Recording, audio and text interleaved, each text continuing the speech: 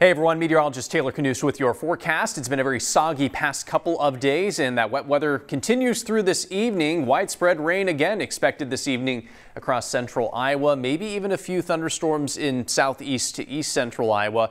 The warm front is situated there and it's not out of the question that we see a brief tornado in that part of the state. It's unlikely, but something that we'll at least be keeping an eye on.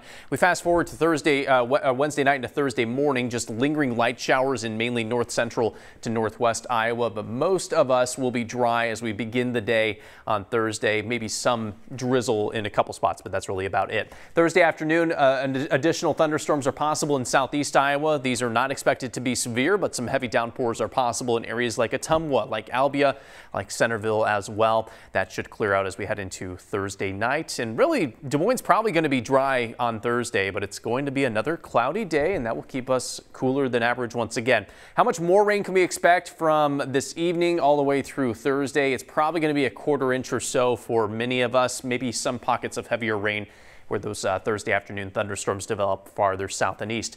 Here's your Thursday forecast. Cloudy most of the day. There could be some late day sun.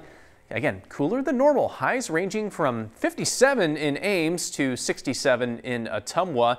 We start to get warmer by Friday. We're looking at highs in the mid 70s with sunshine on Friday. Should be a great end to this work week. And as we head into the holiday weekend, continuing to trend warmer with highs in the low 80s on Saturday. Here's a look at what we can expect for the holiday weekend. There may be a few isolated thunderstorms and showers Saturday morning. That's probably most likely in northwest Iowa. Can't completely rule it out in central Iowa though.